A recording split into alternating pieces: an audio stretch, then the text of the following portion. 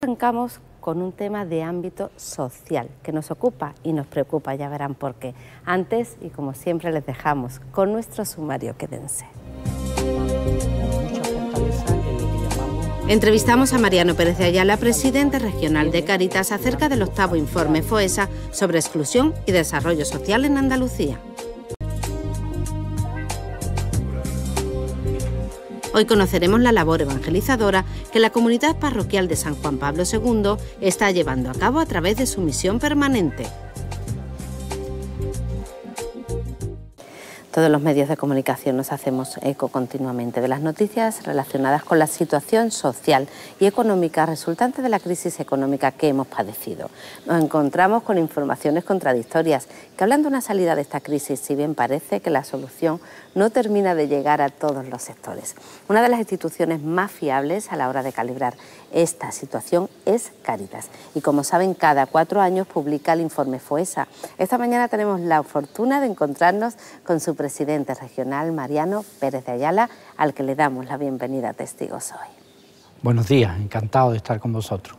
Antes de entrar en materia, Mariano, y de analizar este informe FOESA, hablemos de Caritas en Andalucía. ¿En qué momento se encuentra y qué nos cuenta su presidente?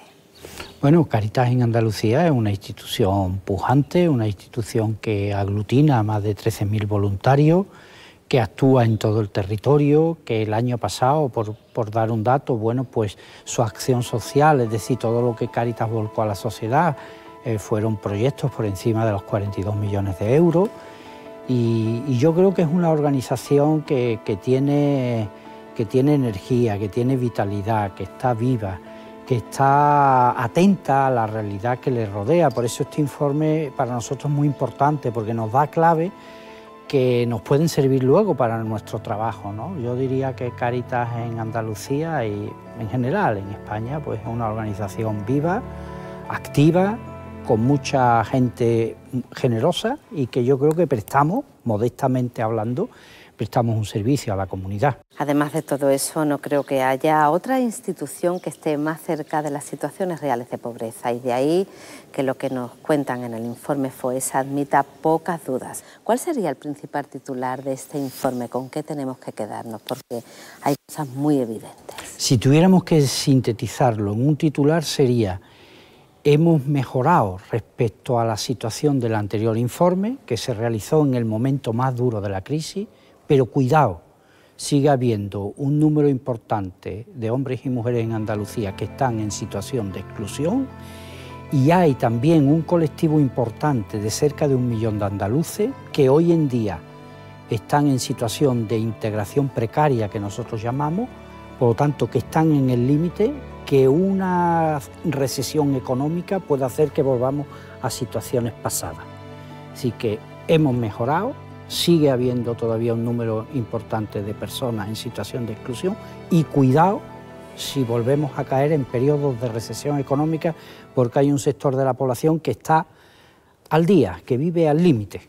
Ya no estamos en la crisis del 2013, pero tenemos que asumir que hablamos de una pobreza estructural. Estructuralmente, eh, en, la comunidad autónoma de Andalucía hay determinados problemas, no diría yo en general que la pobreza es estructural, pero sí tenemos determinados problemas que inciden claramente en las personas que caen en situación de pobreza y exclusión. Por ejemplo, el desempleo estructural que tiene Andalucía, que, estamos siempre varios puntos por encima de la media española y que muchos economistas, no yo, dicen que es una situación estructural, el informe pone de relieve que es una de las causas fundamentales de la caída de las personas o las familias en situación de exclusión. La pobreza no es estructural, hay determinadas cuestiones que sí se convierten en estructurales, pero bueno, las estructuras están también para cambiarse, las estructuras no son inamovibles, es decir, si hubiera otro tipo de política, otro tipo de medidas, podrían revertirse situaciones que desgraciadamente llevamos mucho tiempo sufriendo.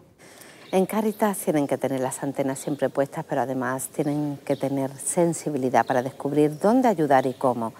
No nos podemos conformar, pero ¿qué propuestas se pueden hacer desde Caritas para revertir esta situación? Nosotros, por ejemplo, una de las cosas que nos ha llamado la atención en el informe y que pone de relieve es el considerable mm, menor gasto social que hay en Andalucía respecto a la media española y no digamos respecto a los, a los territorios más desarrollados del Estado español. Entonces, algo efectivo que salta a la vista es que las políticas sociales, hay que revisarlas, hay que aumentarlas presupuestariamente y hay que evaluar también el resultado de esas políticas. No podemos conformarnos con situaciones que se vienen prolongando en el tiempo desde hace mucho tiempo. Entonces eso es una llamada de atención, en primer lugar a los poderes públicos y también a las organizaciones que hacemos acción social para que a la vista del informe podamos incidir en aquellos colectivos que aparecen con más claridad como más afectados por la situación no invertimos lo suficiente en gasto social. No, evidentemente el dato es incontestable. Frente a las 2.800 eh, euros de media de gasto social por habitante en España, en Andalucía estamos por debajo de los 2.500. Luego es un escalón de la media, no digamos si nos comparamos con territorios como el País Vasco, La Rioja, Navarra, cuya inversión en gasto social supera con mucho los 3.000 euros. Bueno, centrándonos en Andalucía y desde este informe el tema del trabajo se viene arrastrando.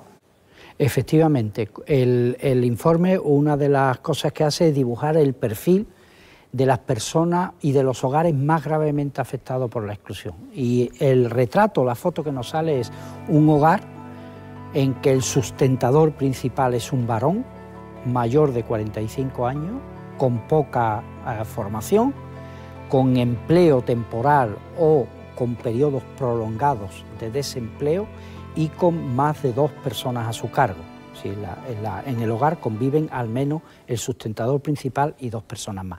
Ese es el perfil que nos dibuja y es claro cuál es el colectivo más afectado y dónde debemos actuar. ¿Y nuestros jóvenes? Los jóvenes eh, aparecen eh, en segundo lugar como los hogares eh, en que el sustentador principal es una persona menor de 25 años y también con escasa formación. La escasa formación es un factor que incide muy claramente en la empleabilidad de las personas.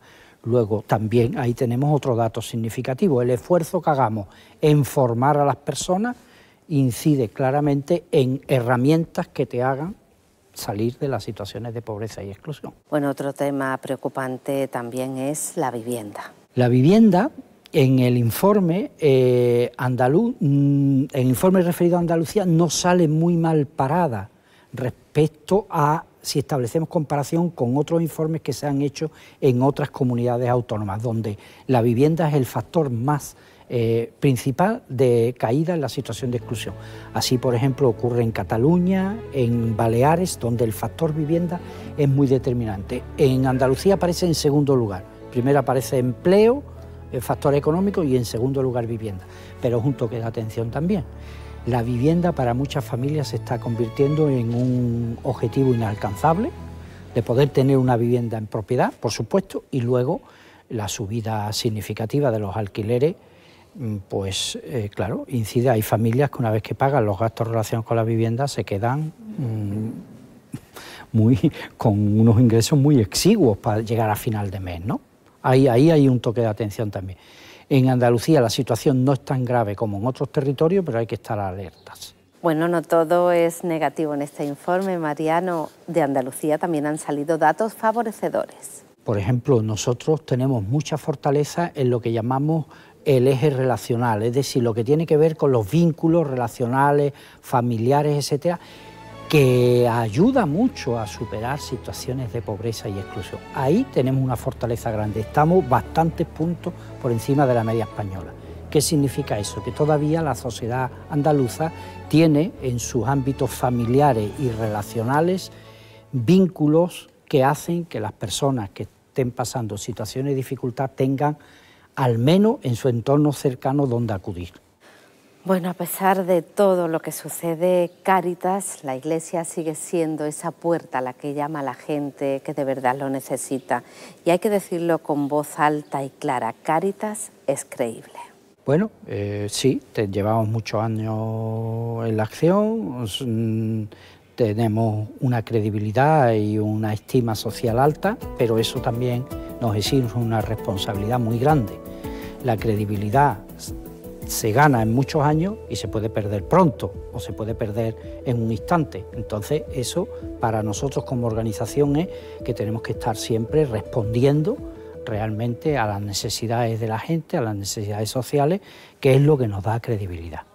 Bueno, he visto este informe y sus resultados, ¿tenemos nuevos retos, nuevos planteamientos? Bueno, pues por ejemplo, seguir eh, haciendo el esfuerzo que venimos haciendo en los últimos años en todo lo que tiene que ver con la formación y el empleo, facilitando la empleabilidad de las personas en situación de exclusión, el, esfuerzo que estamos haciendo también en el tema de vivienda, ayudando a las personas en estas situaciones, asesorándolo, es decir, del informe eh, resultan retos o lo, que venimos también atendiendo eh, que tiene relación con la atención a la integración de la población inmigrante, que aunque en Andalucía estamos dos puntos por debajo de población inmigrante respecto a la media española, pues hay situaciones que vienen exigiendo también nuestro esfuerzo y que queremos continuar en esa línea. Muchísimas gracias, Mariano. Una sociedad es más fuerte cuanto mayor capacidad tiene de visibilizar estas situaciones y no nos acostumbramos a ellas, la injusticia y la pobreza. Gracias a Caritas siempre por recordárnoslo. Pues muchas gracias a vosotros.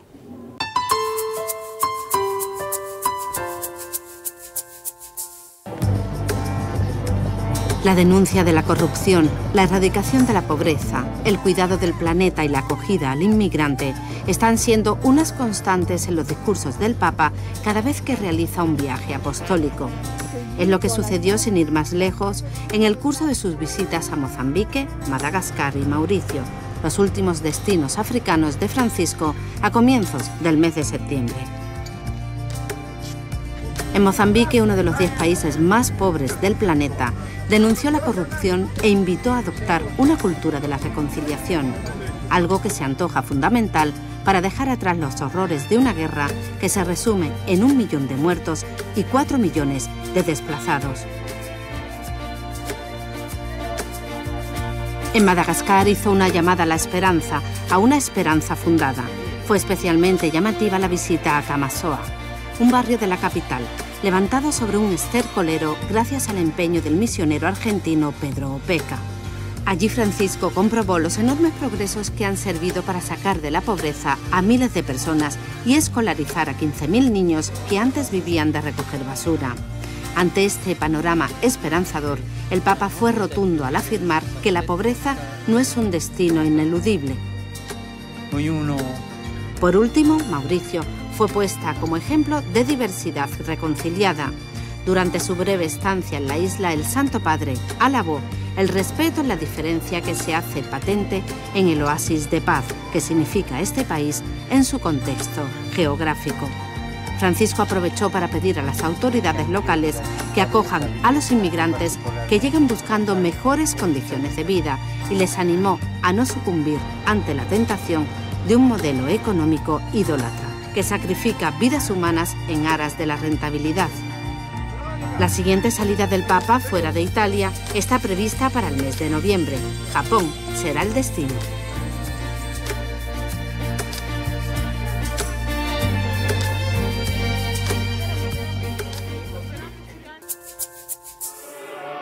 El Colegio Cardenalicio cuenta con 13 nuevos miembros desde el 5 de octubre, dos de ellos españoles muy vinculados a Andalucía, Cristóbal López y Miguel Ángel Ayuso, ambos muy implicados en el diálogo con el mundo musulmán.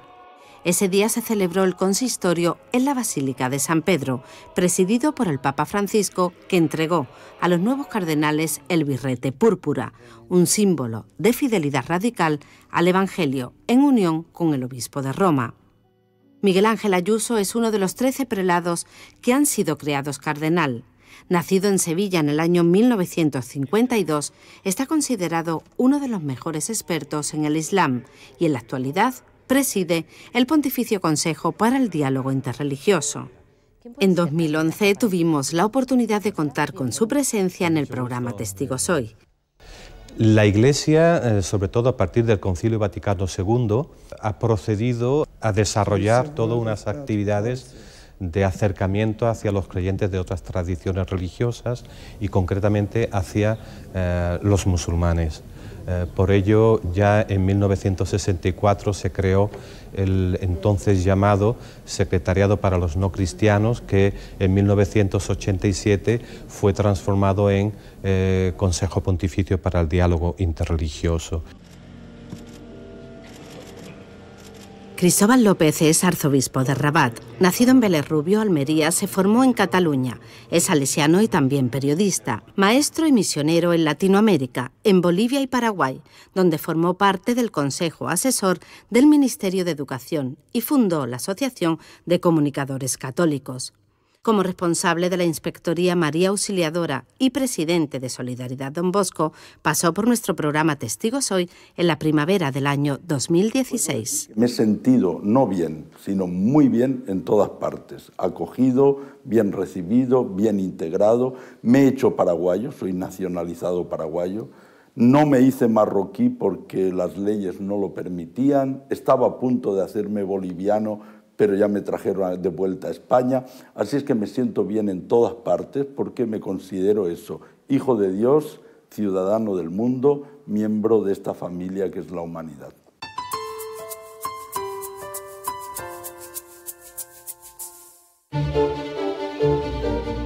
El mes de octubre es el mes de las misiones por antonomasia. De hecho, buena parte de la campaña de sensibilización de la Iglesia a favor de la evangelización en los lugares de misión se concentra en este mes.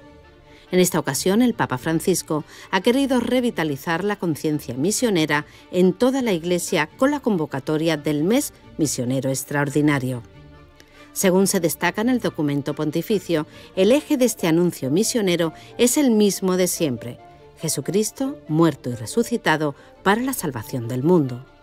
Y para llevar a efecto este anuncio, desde las delegaciones de misiones de las 10 diócesis andaluzas se han promovido actividades con las que se quiere mostrar esta realidad misionera y la riqueza de carismas que se comprometen a diario con el anuncio evangelizador.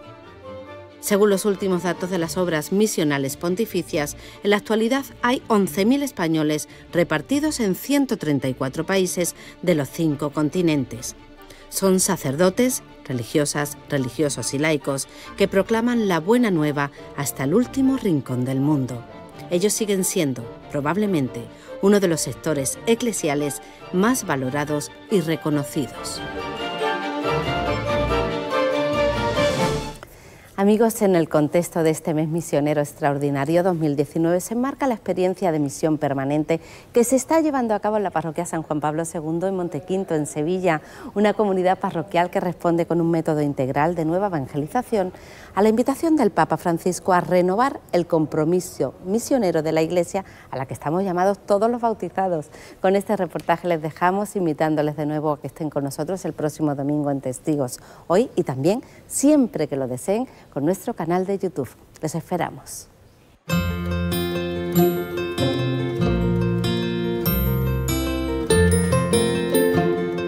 Nuestra parroquia es de nueva erección, es una parroquia joven, tiene siete años de andadura y en concreto cinco años en este territorio. Y eso en nuestra vida nos ha permitido no tener que cambiar el paso de reforma de estructuras como el Papa Francisco nos invita, sino crear desde el principio una parroquia en misión permanente, una parroquia en salida que se preocupa por ir a los alejados de nuestra feligresía y no solamente contenta con las personas que vienen, que son muchas, porque en esta zona hay mucha gente que celebran su fe, sino muchas otras que ni siquiera se plantean que Dios existe y que Dios los ama. Cuando soy nombrado párroco de San Juan Pablo II se me asigna una feligresía de algo más de 20.000 habitantes y en extensión, puesto que la área de entre núcleos que une Montequinto con dos hermanas está en una edificación permanente y se planean 14.000 viviendas en, esa, en ese lugar. Eso mm, ya manifiesta una imposibilidad por mi parte. Yo no puedo llegar a esas casas solo. Y todas esas casas y todas esas familias necesitan recibir, al menos por una vez en la vida, la oferta, el ofrecimiento, el anuncio y la invitación de seguir a Jesucristo. El Papa es el primero que nos invita a que no sea de una manera espontánea esa misión permanente, que no se haga solamente con buenos propósitos, sino de una manera estructurada, organizada. Para ello también necesitábamos un método, no hay por qué inventar. El Espíritu Santo ya ha inspirado distintos métodos, movimientos para aplicar este mandato del Papa, que en definitiva es un mandato del Espíritu Santo. Y nosotros nos decidimos por el cine, Sistema Integral de Nueva Evangelización.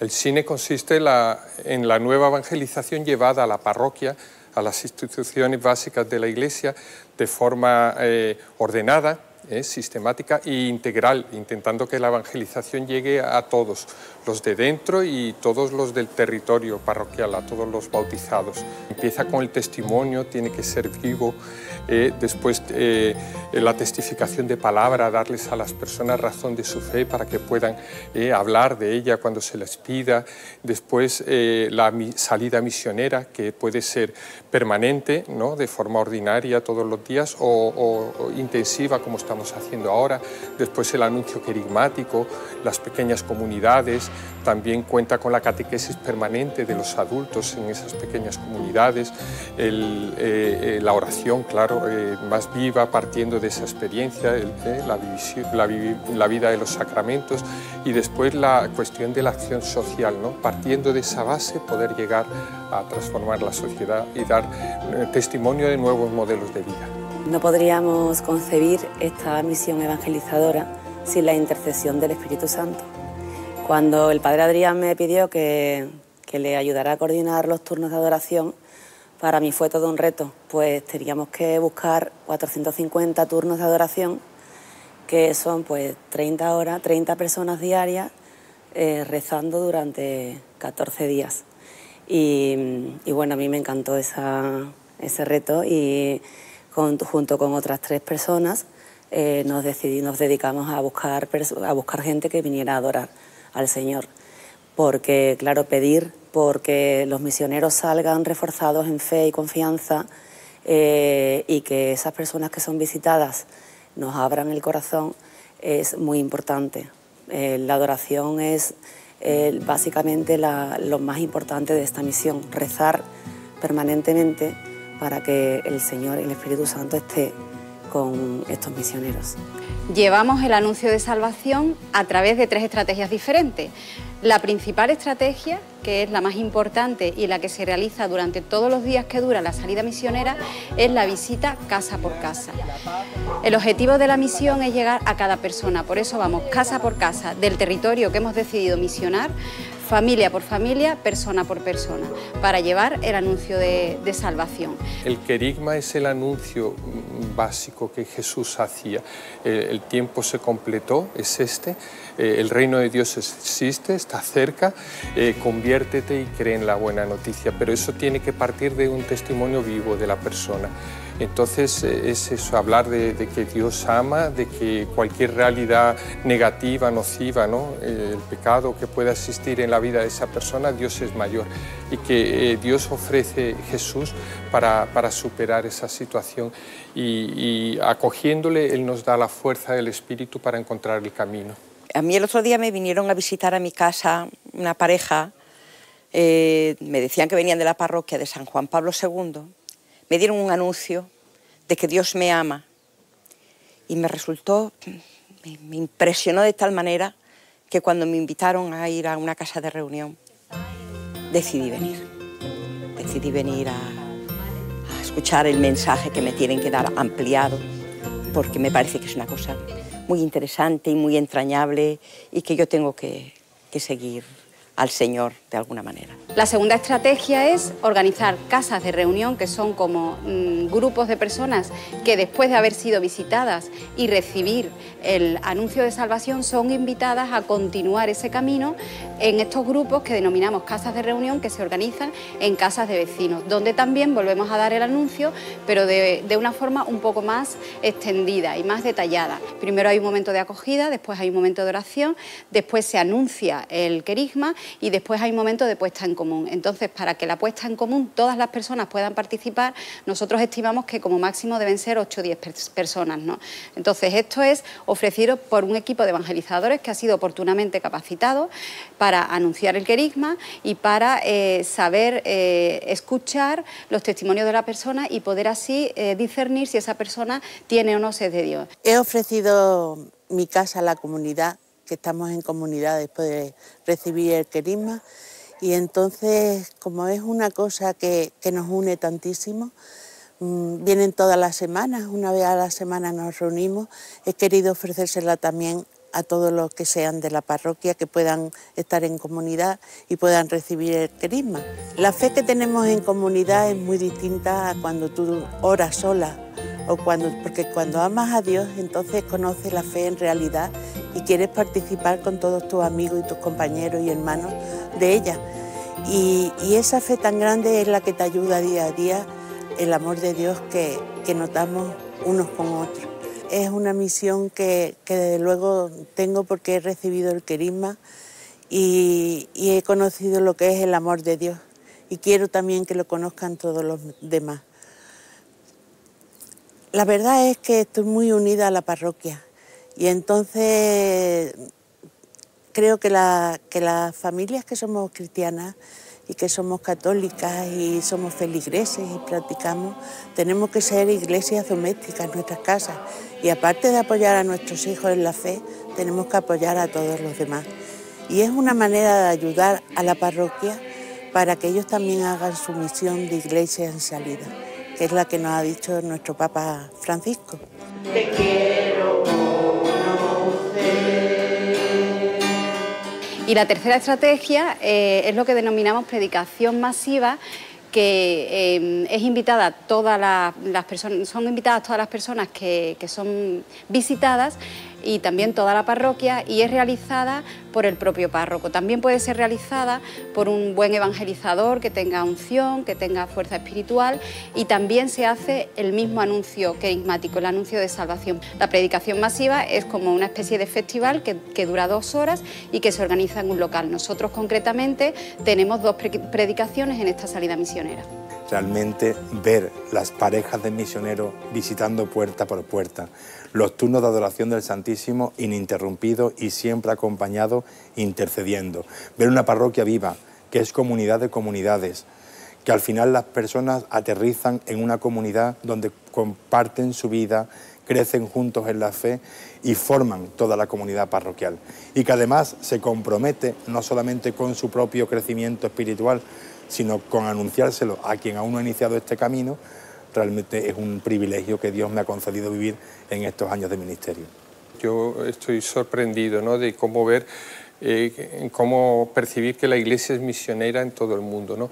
Y en cuanto eh, el católico ¿no? de a pie descubre eh, el sentido de su fe y se le dan los instrumentos básicos, él quiere dar testimonio de Jesús. Y cómo en el territorio hay gente que tiene sed de Dios y, no, y no lo sabe, pero cuando llega esa palabra viva, como que todo fluye, ¿no? Y surge la experiencia de la vida nueva, de, del nuevo nacimiento, del deseo de acercarse a Dios. Los frutos nunca sabemos cuáles van a ser, pero pensamos que al menos hay personas que están siendo tocadas.